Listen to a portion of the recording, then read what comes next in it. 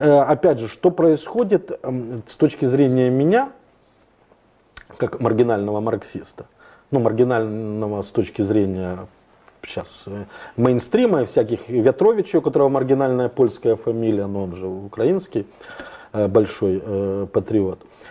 А, понимаете, в условиях глобального мира, то есть, то есть не будем называть это империализмом, как называл Ленин, пусть это будет глобализм, жестко действует закон неравномерности развития. И э, э когда есть более развитый, уже идет, конку, идет конкуренция и противоречие не между более и менее развитыми странами, государствами, а между более и менее развитыми регионами. И есть тенденция, что пытаются объединиться более развитые регионы, которые будут ядром по, по отношению к менее развитым. То есть ядро ядро и периферия капитализма, капиталистического рынка, она уже проходит не по границам национальных государств. Она проходит между более а, регионами, как ни странно, сохранившими индустриальный уклад в значительной степени. Ну, я понимаю, это лохи индустрию это развивают, правильные пацаны великие аграрные державы э, строят. Между прочим, Гувер, оценивая перспективы Германии там, сразу после войны, он сказал, что для построения аграрного державы в Западной Германии, аграрной, ну, потому что были же планы полностью их лишить индустрии, нам понадобится, он дословно сказал, уничтожить или вывести 25 миллионов немцев. Ничего не напоминает? Это, это из, ну, ребята же откровенные были. Были же времена, когда ребята были откровенными. Ничего не понимали и в политике тогда, Дмитрий. Ну, им не надо было, понимаете, это сейчас там туземцам что-то. Это нет, это проклятое наследие совка, потому что который дал образование всем, какой-то минимум знаний, поэтому их надо, надо было а, с, с заменой, так сказать, э, русско-жлобка на евро, русско-совка на евро-жлобок, пришлось по новой одурачивать, так сказать, но кое-что приходит, так сказать, иначе говорить, рассказывать о перспективах. Сейчас, вот, например, интересно смотреть на фотку этих бабулек, которые с кастрюлями выходили ради больших, ну, пенсии же Янукович украл. А когда уйдет Янукович, будут всем пенсии э, большие. Мы перейдем на стандарты медицины, как в Евросоюзе, и в каждую районную поликлинику завезут европейское оборудование. А я же не, а что, я не утрирую, это же такая была пропаганда. Где это? И этого, я вам скажу, был прекрасный, э, э так сказать, это анекдот, что когда это в советское время, э, в 20, это, э, в 10 часов, там, э, так сказать, э, русский выпивший, значит, турист, подходит там к, к эстонскому этому бару, а там его закрывают. Говорит, а где, говорит, ближайший бар, который работает? Говорит, в 22 часа в Хельсинки. Так вот, да, есть это оборудование. Ну вот там, поезд есть, туда ходит. Киев-Перемышль.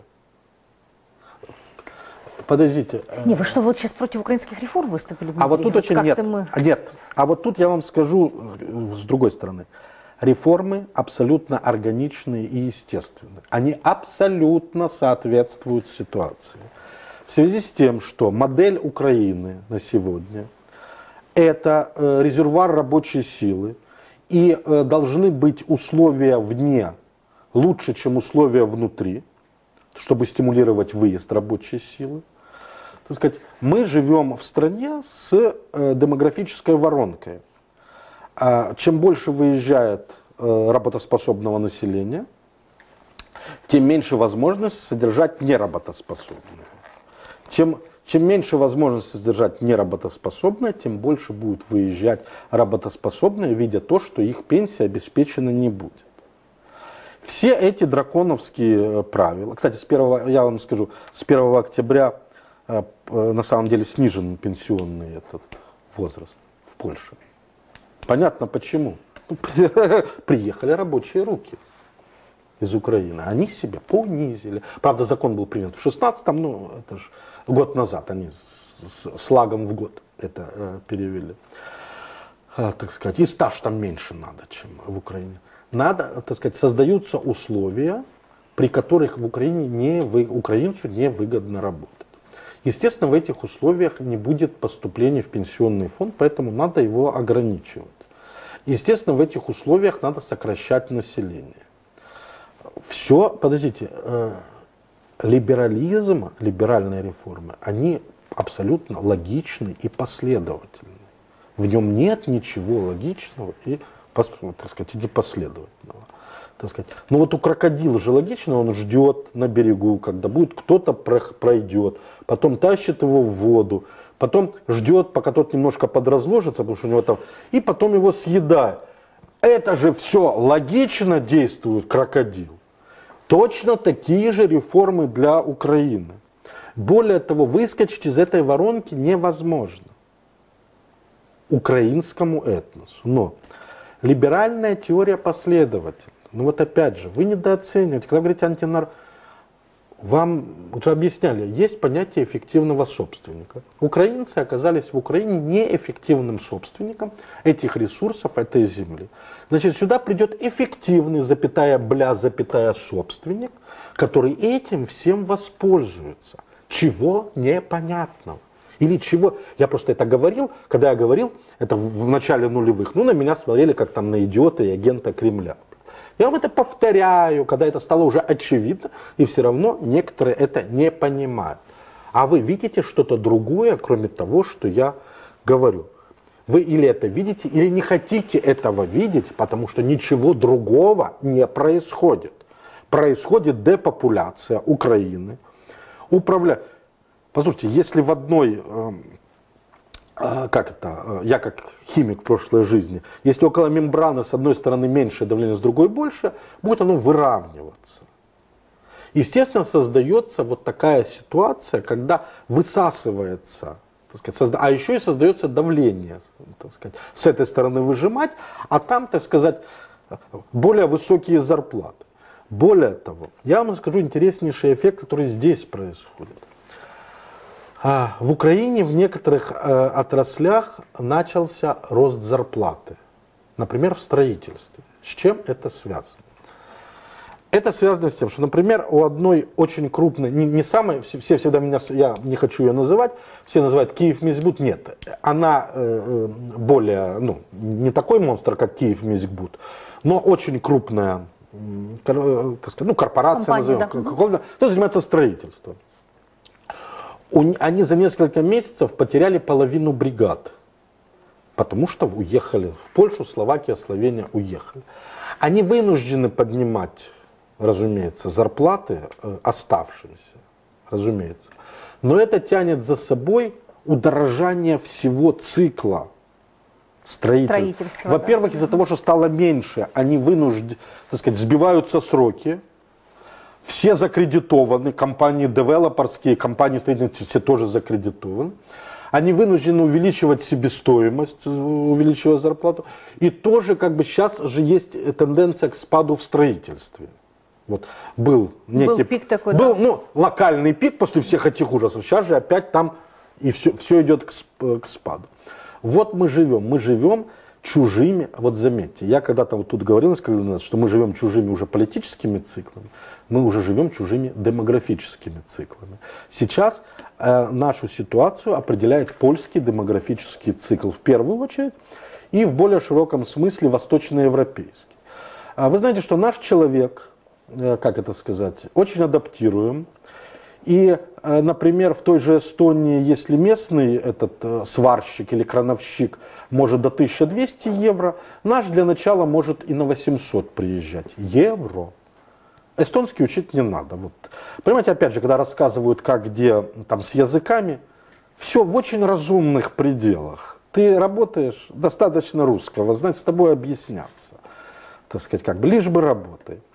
Вот что, ну, Эстония, это, это я так, как пример, там, там мало понятно. Но вот же, так сказать, посмотрите по Восточной Европе, сколько работает э, украинцев. И это будет продолжаться. Ну, все так безнадежно, Дмитрий? Да, все безнадежно. Все. Посмотрите, э, э, смотрите, вы спрашиваете вопрос, если человеку перебили хребет, он лежит, он, может ли он встать, все ли так безнадежно? Ну, жить будет, но это не весело ему. Ну, в каком-то, может, корсете ходить. Нет, ну почему? Ну, рано или поздно, когда создастся когда возникнет вопр- пробле- когда будет недостаточно кадров для того, чтобы поддерживать инфраструктуру страны, встанет вопрос об эффективном собственнике страны. Почему? Все будет хорошо. Те, кто дотянутся, сказать. Понимаете, как это? Совок это был э, сильным работу, слабым заботу. А жлобок это, так сказать, сильных в рабы, слабых в гробы. Но логично, зачем? А зачем пенсионеры нужны? За- Зачем их содержать, если они уже не работают? Скажите, ответьте мне на вопрос. Дмитрий, после... Подождите, нет, есть ответ, подождите. Есть э, такой левосовковый ответ. Ну, чтобы молодое поколение видело, что когда они доработают, ну, мол, молодым везде У нас всё дорога, старикам у нас все... Да, почему? А вам говорят, чувак, молодое поколение должно в Европе работать. Все правильно, происходит евроинтеграция, только не Украины, а украинцев. Это либеральный подход. Люди главное. Иосиф Виссарионович еще говорил, тоже был либерал. Кадры решают Решает все. всё. Да, это... На украинские кадры закрывают демограф... Польша, я уже говорил это в этой студии, Польша решила свои демографические проблемы по их расчетам на 20 лет вперед. Э, так сказать, на ближайшие 4 до 2020 года за счет первого миллиона украинцев, на 20 лет за счет еще пяти, на которые они рассчитывают. Более того, это все, всю Европу это устраивает, потому что поляки едут туда дальше. Да, Европа интернационализуется, но не может, понимаете, по кругу уже не может ходить. А вы скажете, кто придет? Китайцы придут в Украину. Китайцы. Э, О. Нормально, а что? Ну, вы знаете, что... Будет новый этап. Нет, по- послушайте, и я вам хочу сказать, что это не худший вариант, потому что у нас есть такая писательница Ницой. Она обосновывала тем, которая там мелочи, причем самое подлое, что она ни, ни с кем не ругается и никому ничего в лицо не бросает, она об этом пишет, что еще хуже. Это в ее фантазиях все происходит. Не было ни одного эпизода ею описанного. Она просто на ровном месте. Ну, это отдельная история. Это Бог ей, Бог ей судья, так сказать. Более того, как мы знаем, Бог, Бог э, наказывает не смертью, а Бог наказывает жизнью. Я представляю, как ей тяжело э, живется. Ну, это, так сказать, ее проблема. Так вот, она обосновывала абсолютно открыто, когда был там на громадской раде, там, что э, в связи с тем, что вот в исследовании, ну, она приводила э, э, Стрэдфора, э, Ф- Фридмана исследование, что вот после 2020 года Россия распадется, поэтому не надо учить русский язык. Она, если бы она прочитала еще 112 страниц, 112, то очень скоро у того же Фридмана, ну, из которому она доверяет, что Россия вот распадется после 20 года, там написано о ожесточенной борьбе э, между э, проевропейским польским блоком и турецким блоком. И после того, как Польша нанесет Турции, турецкому блоку поражение, турецкий блок отступит, сохранив за собой только Румынию и Украину. Как-то, может, дальше уже не будем говорить Ну подождите, сегодня, если, нет, потому что вы это знаете уже- что, если, если идиот ссылается на одну часть исследования, то я имею право, как в любом праве англосаксонском, сослаться на другую часть этого же документа. Может, лучше не Ну надо. просто я читаю эти книги, знаете, ну с детства у меня такая привычка, блин, книжки читать. А а она их пишет, у нее нет времени читать. Дмитрий, ну и в конце, вот буквально, если позволите... Хорошего ничего не, нас не ждет. Нет, ну вы должны что-то хорошее сказать. Нет. Ну как это? Придет эффектив- Интеллектуалы должны это Придет эффективный собственник. Подождите, я, я этому, я, я если доживу, я этому эффективному собственнику понадоблюсь. У меня есть необходимая сумма знаний для этого. Вот на этой хорошей, оптимистичной ноте мы заканчиваем интервью с Дмитрием. Но большинство из зрителей украинских не понадобится этому собственнику.